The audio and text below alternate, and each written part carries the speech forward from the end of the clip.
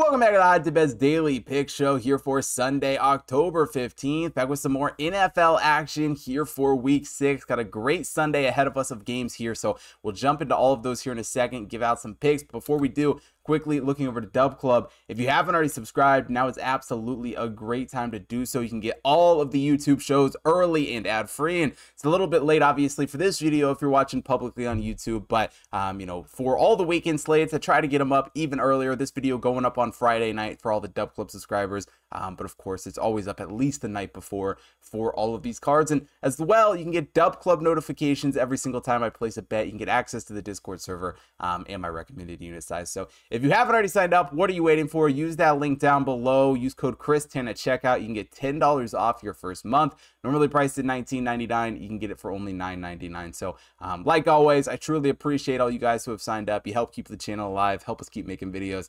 Um, and just help us keep going. So thank you so much. Let's get into today's show.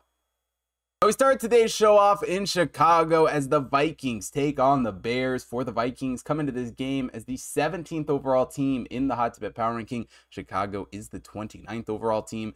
Offensively, the Vikings getting the advantage in this one. 12th overall, with Chicago the 22nd team overall, also getting the advantage on the defensive side of things in the rankings. 19th overall, Chicago the 28th overall team. And while both these teams are one and four on the season, certainly it feels like the Vikings are in a slightly better spot, um, albeit maybe not by much. Obviously, Kirk Cousins has had some struggles this year, but certainly has not been entirely his fault. I mean, really, it's a, a Vikings defense that has certainly given him no help at times. Um, and really, they've looked decent in some of these games, just haven't been able to put it all together. Um, you know, as far as consistency, obviously the injury to Justin Jefferson is going to be huge for this Vikings team, a team that was already struggling, you know, seemingly going to be hurt even more with that one.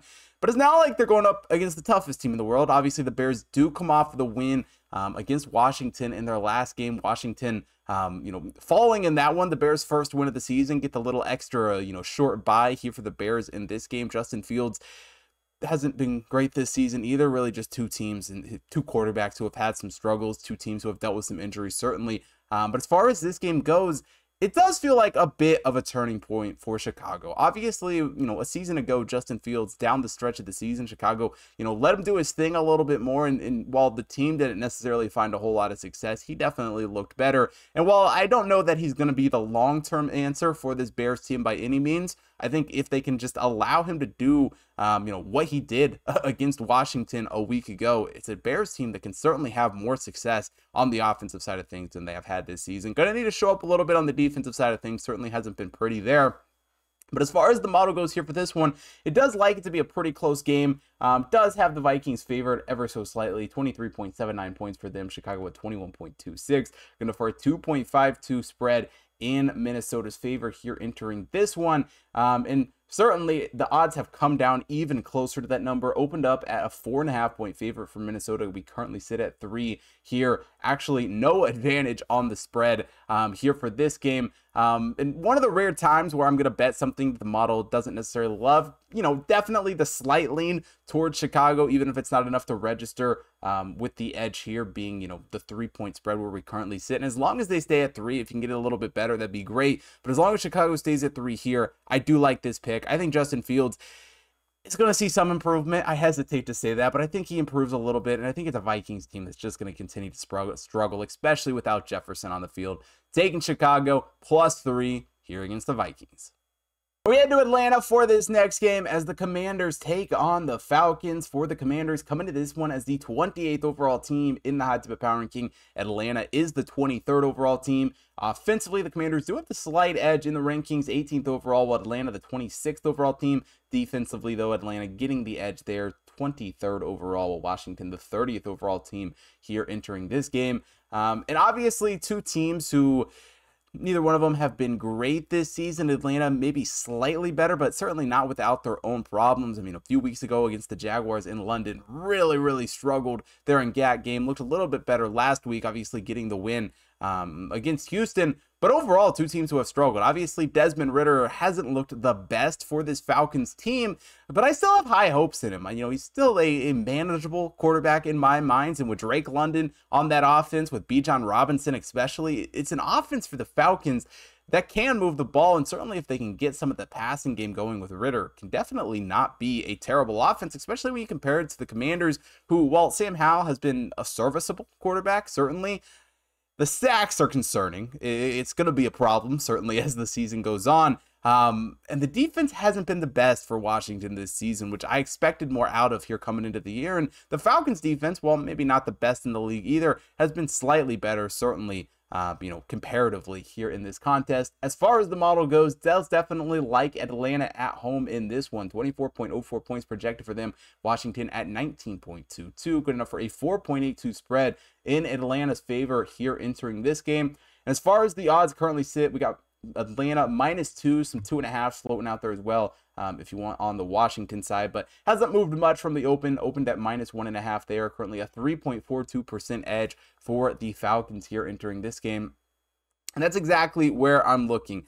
You know, it's a Falcons team that we bet early and we bet, I don't know, probably three of the four weeks, I think, or three of the five weeks they've played here this season so far. And it's a team that truthfully, I still have a lot of faith in, and I think it's an offense that if Ridder can find anything and even just the slightest bit of success, is a team that can really pop off and have a lot of success. I'm taking the Falcons minus two here against the Commanders. And the final game I want to take a look at here on Sunday's card, one of the more exciting games of the day, the Lions taking on the Buccaneers. For the Lions, coming to this game as the sixth overall team in the hot tip power ranking. The Bucks are the seventh overall team. Offensively, Detroit getting the pretty big advantage here. Second overall, while the Bucks are 15th, but kind of flipped on the defensive side of things. The Bucks, the fifth overall team. Detroit, the 13th overall team coming into this game.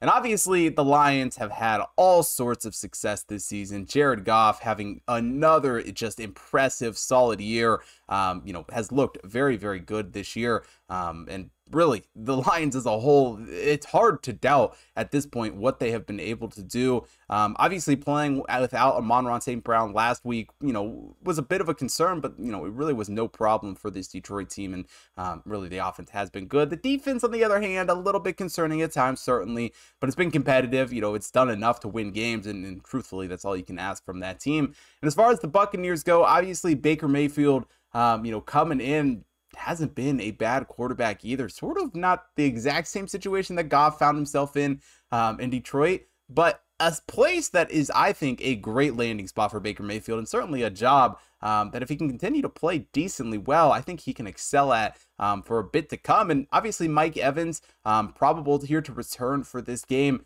um, you know, definitely is a, a, big piece to this offense.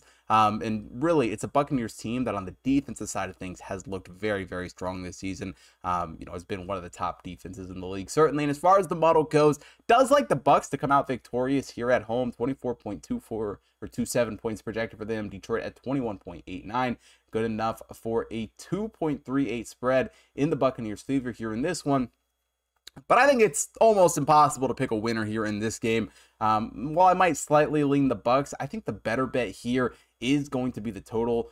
46.16 projected points here from the model and it's definitely come down a bit from the open to open there at 45 and a half currently sitting at 42 um, and a half 42 depending if you're going the, uh, over or under there but for the over 42 currently the best line at 10.12 percent edge um, in our favor there, and that's exactly where I'm looking at. I think with these two quarterbacks, we're going to see a pretty high scoring game. Yeah, the Bucks defense has been good, but um, I think with the, how the Lions defense has looked and how Jared Goff has looked, we could see a pretty high scoring game overall. Taking the over 42 points here for this one.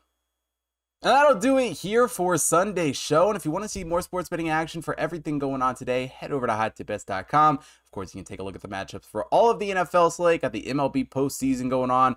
Um, of course, college football here every week. UFC horse racing picks. The NHL season going on as well. And got the NBA and college basketball coming up in a few weeks. So make sure you go check out the website and don't miss out on any of the action. Also, follow the social links down below Facebook, Instagram, TikTok, Twitter to stay up to date with everything that's going on over there. As well as if you're watching on YouTube, hit that like button, subscribe to the channel, hit the bell notification so you don't miss out on any future uploads. And most importantly, drop a comment down below below. Let me know who you guys are betting on here for Sunday. Thank you for watching today's show. I will see you guys tomorrow.